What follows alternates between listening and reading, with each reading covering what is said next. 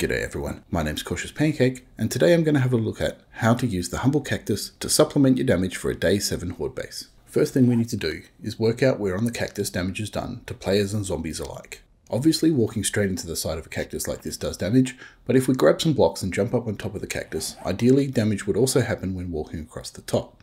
This would allow an elevated horde base to run around and across all of the tops of the cactus, across all of the tops of the cactuses, across all of the tops of the cacti, and result in damage being done to all of the zombies as they walk past, without any risk of them stopping and hitting and potentially destroying them during Horde Night. Unfortunately, as you can see here when we stand on top, no damage is done to the player, which is likely the same for the zombies. What this means is we will need to consider how to do damage to the zombies from the cactus at a lower level, which because we don't want them running around at ground level and potentially destroying them, we're going to need to dig a path underneath. This will allow us to make the zombies brush up against it or jump up into it, while at the same time controlling their pathing so that they don't run all over the place. As you can see here, we've got a fairly standard early horde base with a path across the top of a side-centered pole, a basic cube-based structure with an area to do melee damage from the front where the zombies will stack up and hopefully fall off if there's too many. They fall down here, all of our ground floor areas that are reachable by the zombies are reinforced with cobblestone, and around the base we have several cacti surrounding the base that will allow us to use them to add a little bit of extra damage to the zombies. It's not going to make a huge difference overall, but if you're playing on a harder difficulty and you need a little bit of a damage boost, this might be for you. So what I've done here is dug a two block deep trench all the way around the base, coming up next to the cactus as we go past them. As you can see, when we run past it as a player, we get hit by all of them and take a little bit of damage, and then can pop out the trench at the other end and cycle back. This should give us a nice loop for the zombies, should spread them out a little bit, and give us plenty of chance to keep our stamina up and melee the zombies as they come through. Switching to inside of the base, we just need to give it a little bit of a test, so let's summon in a Boe and see how we go. Just need to make sure he gets knocked off and falls down into the trench so that we can test out the loop.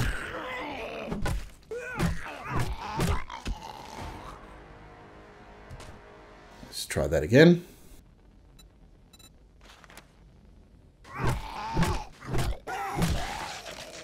Okay, let's try somebody else. Okay, there goes Arlene down in the trench. We're using a feral version, so it should be a bit quicker. If we turn on God mode, you can see 155 health. And she's taken no damage as she's run around. So despite the fact that we took damage at each cactus, it doesn't look like zombies will, or at least the smaller ones like Arlene won't. So that's something that we need to fix. Okay, so to try and fix this, what we might do is try and push the zombies into the cactus as they run past. We don't want to push them up with any ramps because that might give them the height that they need to jump out of the trench. It's only two blocks high, so that's not going to take much. Instead, what we might use is a ramp mounted to the side that pushes them slowly into the cactus as they run past. Something like this. certainly works on me. Oh no, wait, I'm stuck. That's not big enough to get through. Let's use maybe the narrow version instead.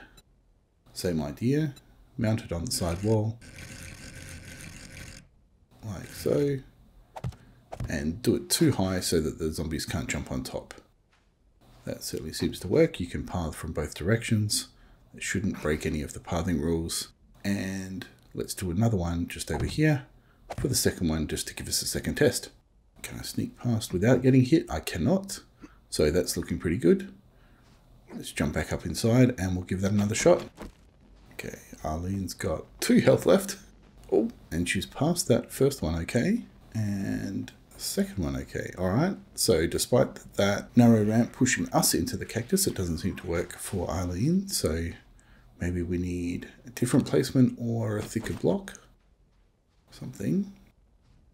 Hmm, let's just grab those. Oh, Arlene's coming back. Oh, Arlene's been killed. Maybe coming from the reverse direction makes a difference. And what we need to do is have the ramps round the other way. So if we put them this way, that will push the zombies over further to the right, right at the beginning where the cactus is, and that might be just what we need. Just you get out of the way.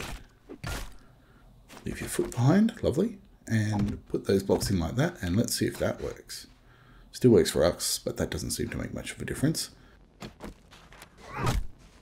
Okay, there we go. She's down in the trench. And straight past the first one with no damage. But hit the second one. Alright, that's good.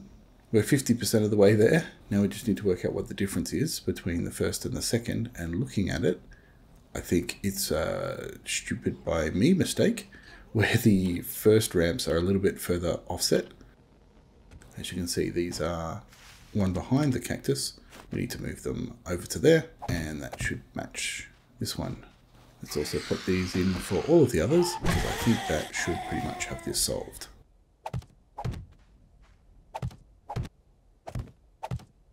Okay, with all of those in place, let's get a feral Boe just to check that this works for multiple zombie types. And we'll use a feral just to speed things up a little bit, hopefully, once he's down in the trench. Let's turn on God mode so we can see the damage. There's three damage there. Don't know quite what he's doing. A little bit of rage mode. And has hit the ramp, so we'll need to make sure they're protected. But damage is certainly being done at each of the cactus now. Each of the cacti. I'll get it right eventually. And there we go. A stupendous amount of damage being done there. Maybe 10, maybe 15 damage. Not sure exactly what he started on. But as you can see, if they do that every time they loop around, when they come around and you get a hit on them with the club, that's going to make it just that little bit easier to kill all the zombies. Especially on insane difficulty if you're playing that high, where the player damage is reduced significantly. Now one last addition that I thought I might add, since we're trying to do damage as the zombies run around, is to add in some of the campfires. I've only added in four, as you can see, as we make our way around the path, and hopefully they will just cause a little bit of zombies every now and then to catch fire, which will just add a little bit more damage to that being done to them without our involvement. It's not enough campfires to summon in a screamer or anything, particularly since we've got no gunfire happening on a day 7 horde, or, or if you are lucky enough to have a weapon at this point, you're not going to be doing a whole lot of shooting, so the heat generated from the campfires is probably not going to be a problem.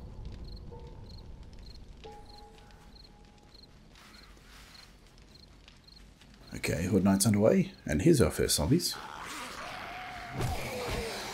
Since it's a melee base, we can do a little bit of damage to the first group, and anybody that comes in behind that we can't get to, they can't usually get to us, and they'll run themselves off the pole down into the pit, and then they should be following the path all the way around, taking some damage as they go, so that next time they come around, they're a little bit weaker, and we can hopefully get them with one or two shots. This is warrior difficulty, so not particularly challenging compared to, say, survivalist or insane, but still just that little bit harder work this up for some extra light in here. There we go. You can see the zombies a little better. And where are they? There they are. They're following the trench, which is great. They should be taking some damage. Coming around. We should be able to kill them a little bit easier once they get here. You can see they're popping up out of the trench at the other end. No one's going crazy. Doesn't look like anyone's getting set on fire yet, which is a little bit disappointing. uh, I know it's not a guaranteed chance when they run over the campfire, but kind of nice if someone, you know, into flames. one guy just jumping up and down in the pit there. The rest of them are all looping around nicely. As you can see, once they've had a couple of hits and then had a few pokes full of holes from the cactus, they're a little bit easier to take care of when they come around.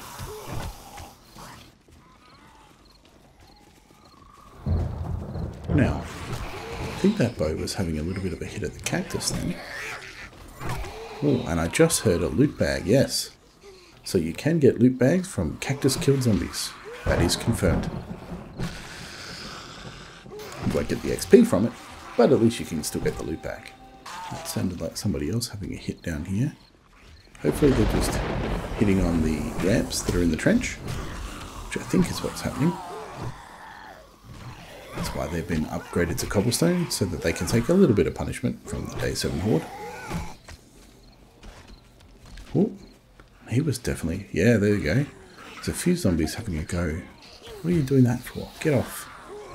Oh wait, I saw in the background there, that's where the new zombies are running in from, and I think the cactus is on the shortest path, so it's kind of blocking their run in. So that might be one thing that we could have improved is by putting some extra protection either around the side of the cactus so that the zombies can't do that.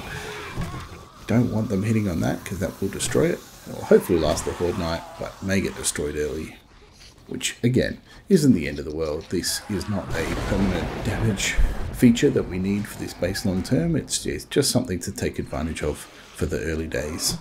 Maybe day 7, maybe day 14, but probably nowhere past there. Even day 14 is probably a stretch. By then you've got guns and hopefully a bit of ammo. You're not really going to be worrying about the 3 damage points that a cactus can do to a zombie at that point. Now let's just quickly turn on God mode and we can have a look and see Steve here is taking some damage. Gone from 24 to 21 down to 18 and comes out with 15. So for the normal zombies, the cactuses are still doing damage at 3 points a hit. Okay, feels like it's quieting down. Only a few zombies left. I think maybe just the one. Is that all that's left? And one utility worker. And you can see it's still taking damage from the cactus. Looks like two damage each, so the armor reduction for zombies applies to cactus damage. There you go, another little feature confirmed. Not a stat that I otherwise would have learnt, but the, the more you know. And since he's the last one left, we might just follow him around the trench. You can hear him taking damage each time he passed each cactus. And there we go. A loot bag to finish. So since we're down here, we might just have a quick look at how the base held up. A little bit of damage on these cobblestone blocks here. The main one in the middle, which we don't want to lose, is doing quite well. A little bit of wood damage, obviously a bit of damage there. We didn't repair anything during the Horde Night, so that's pretty much as it was. Taking half damage on that ramp. We've got a loot bag sitting on fire. Oh, and we can see the damage on the cactus. So we've lost half damage on that one, half damage on that one, or just a bit under. And obviously you can't repair them. It's not like you can take the uh, fibers and, and patch it up. So once they're damaged and destroyed, that's it. So a little bit of damage all around, but pretty easy to repair to be fair. It's worked pretty well. Now here's a modified version of the fire pits. I've just dug them down a little bit and added a small half step jump on it to try and make the zombies pause a little bit as they go over the campfire, since none of them the last time caught fire. That was a bit disappointing. So this modified design should hopefully set a few zombies on fire. So we'll give it a quick test,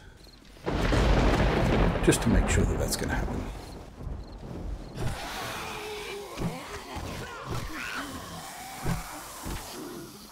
The zombies are passing through, as expected. No one's burning just yet, which is disappointing. I want more fire. Oh, we've got zombies on the inside and no stamina.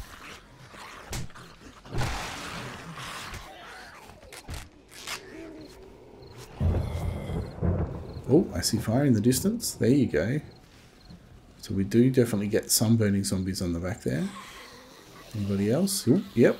Alright, so we now have flaming zombies contributing to it. Now that was achieved by digging a three wide extra trench, three blocks deep, or one extra block deep in the trench, putting a campfire in the middle and a half cube block on the far side, rotated to the bottom for the zombies to jump up onto.